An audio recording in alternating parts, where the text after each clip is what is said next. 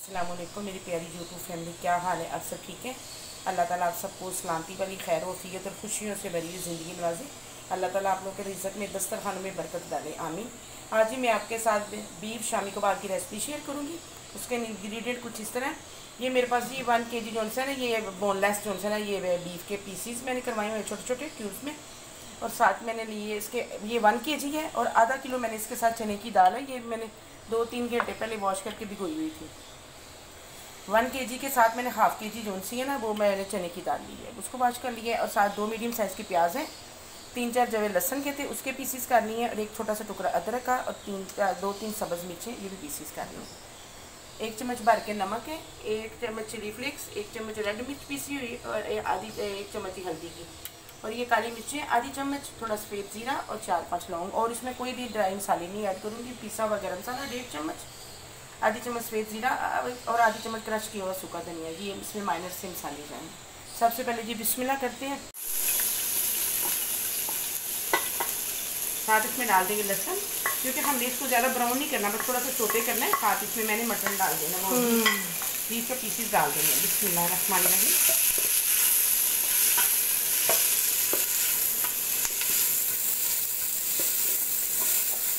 बहुत मज़े के रेशेदार जो है ना हमारे कबाब बनेंगे।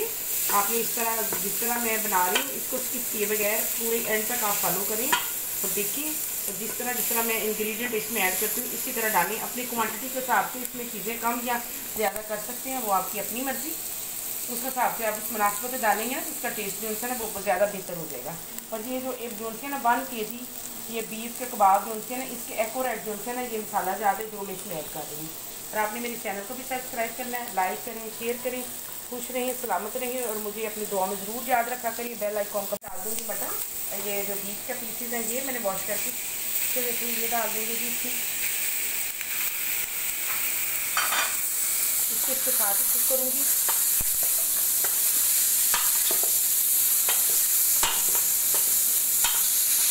जो गया अब इसमें ये मसाले डाल देंगे। ये जो ड्राई मसाले हैं ना, ये साबुत मसाले, इनको थोड़ा सा हम क्रश कर लेंगे क्योंकि इसमें। काफ़ी बाइट होते हैं ये बाइट में हमारे मुँह में ना आए, बाकी ये मसाले इसी तरह इसमें ऐड कर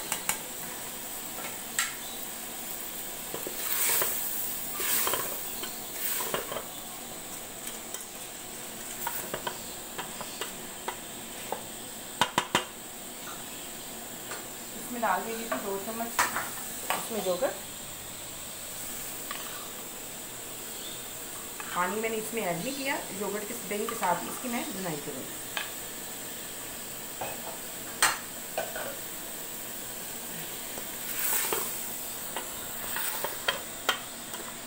ये जो मसाले हैं काली मिर्च, लौंग और सफ़ेद जीरा, इसको हल्का हल्का क्रश कर लेंगे। हमने ज़्यादा इसको पाउडर नहीं बनाना, बस इसको थोड़ा सा ना माइनर सा थोड़ा सा इसे दरदरा सा करना है हमारे मुँह में ना आए और इसका फ्लेवर भी जो है रहेगी तो इसी में इस तरह मैं डाल दूँगी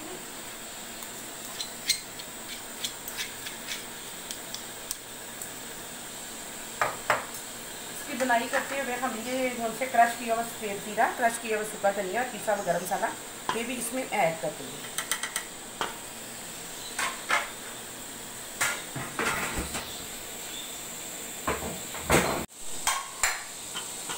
साथ इसमें डाल देंगे जी दो गिलास पानी और इसका वेट लगा देंगे।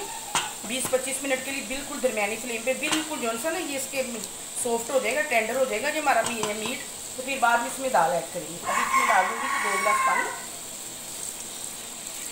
ये डेढ़ गिलास पानी थोड़ा सा इसमें और ऐड करेंगे। इसमें जो हमारा मीट जो है ना, अच्छी तरह टेंडर हो जाएगा। अब इसको कवर कर देंगे 20-25 मिनट के लिए। 20-25 मिनट के बाद मिलती हूँ आपको। पैंतीस मिनट के लिए पानी डाल के इसको दरमियानी फ्लेम में रख दिया हुआ था। ये देखिए, अब ये इसके सारे इस तरह मैंने ना मिलेशर के साथ इसके सारे रेशे बना लिए इस तरह करके मैंने सारे इसके ना रेशे बना लिए पानी इसका ड्राई हो गया। अब इसमें डाल देंगे दाल। इस कंडीशन पर आपने दाल डालनी जब इसके रेशे बन जाए और सारा जो है ना ये मीट हमारा टेंडर हो जाए। इस टाइम पर डाल देंगे इसमें दाल। जिसमें आधा किलो चने की दाल है और एक किलो जो है ना ये मेरे पास मीट है बोनलेस बीफ का। अब इसमें डाल दूँगी पानी और इसको फिर मैं जी पंद्रह मिनट के लिए एक गिलास इसमें मैंने पानी ऐड कर दिया।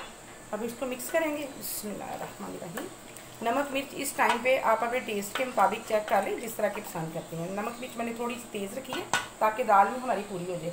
अब इसको कवर कर दूँगी और पंद्रह मिनट के लिए मैं फ्लेम पर रख दूँगी। बिस्तर के बाद भी इसको पंद्रह मिनट तक ना इसको चलने दूँगी। फिर बाद में इसकी फ्लेम बंद करके फिर आपको उसकी फाइनल मिल दिखाती हूँ। बंद करती हूँ, जिसको पंद्रह मिनट बाद मिलती है। बसमिल्लाम ये इसकी मैंने फ्लेम बंद कर दी है, दाल का पानी भी इसमें ड्राई हो गया दाल हमारी इसके अंदर टेंडर हो गई है। अब मैं मलेशर के साथ ना, इसको अच्छी तरह एकदम लैश कर रही हूँ ताकि हमारा जो मीट है और दाल है, दोनों एक जान हो जाए। बिल्कुल, आपने ना इसको चॉपर में नहीं करना, इसी तरह करेंगे ना तो इसमें रेशे बन जाएँगे। अगर चॉपर में करेंगे ना तो इसके रेशे ख़त्म हो जाएँगे। तो हमने इसके अंदर रेशे बनाने के लिए ना, इसको इसी तरह मलेशर में ना, दाल हमारी बिल्कुल टेंडर है। बस इसको ज़्यादा हमने जो है ना बरीक नहीं करना बस इसी तरह जो है ना बस थोड़ा सा इसमें थोड़ी देर में और दो मिनट में करती हूँ। बाद में इसमें धनिया पुदीना डाल के तो फिर इसके जी कबाब बनाते हैं। इसमें डाल देंगे एक एग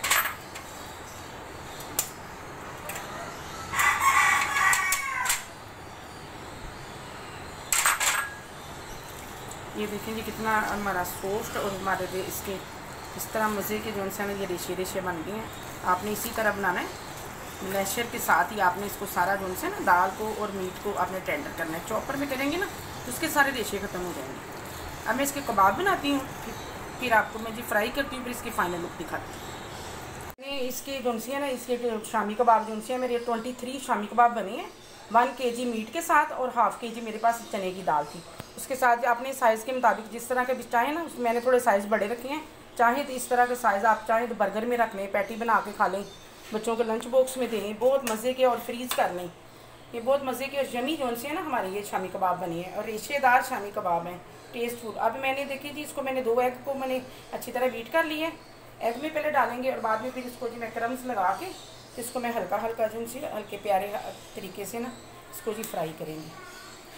मैंने ऑयल को हल्का हल्का गर्म करना रख दिया। बिस्मिल्लाहिर्रहमानिर्रहीम। इस तरह भी दोबारा जी डिप करेंगे एग में। फ्लेम थोड़ी सी मैं इसकी हाई करूँगी। फिर इसको जी डिप करेंगे इसी तरह क्रम्स में।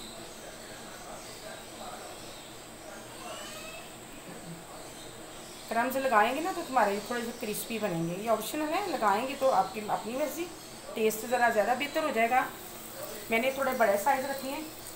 आप अपने मुताबिक जिस तरह के पसंद करते हैं, उस मुनासिब से रखें। और मेरे चैनल को सब्सक्राइब भी करना है आपने लाइक करें, शेयर करें और बेल आइकॉन का बटन दबाना ना भूला करें। जो भी रेसिपी बनाती हूँ उसकी किए बगैर पूरी एंड तक पूरी फॉलो किया करें, मुझे प्यारा सा कमेंट पे फीडबैक में बताया करें कि आपने ये रेसिपी बनाई और घर वालों की दाद दी अल्लाह ताला आप सबको अपनी अमान में रखें। इसी तरह की ये सारे कबाब मैं बना लूँगी। बाकी मैंने भी बना के तो मैंने वो फ्रीज़र में रखनी है। आप इस तरह बनाएँ बच्चों के लंच बॉक्स में दें या पर जो बच्चे निकाल ये देखें, ज़रा नहीं टूटे, ये रेशे वाला, रेशे वाले बड़े मज़े के और जमी जो से ना, हमारी ये कबाब है अब इनकी कर देंगे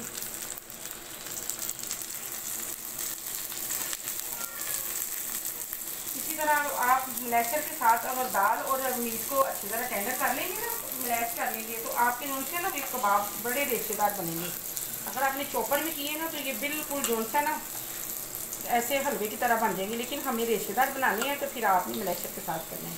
और ये टूटेंगे भी नहीं, क्योंकि ये दोनों चीज़ें जो होती हैं ना आपने भी इसी तरह बनाने हैं। और मेरी रेसिपी को फॉलो करते हुए एंड तक आपने पूरी देखनी है। ये देखें कैसे रेशेदार, हमारे ये ये देखेंगे। कैसे ये भी रेशेदार देखें कबाब बने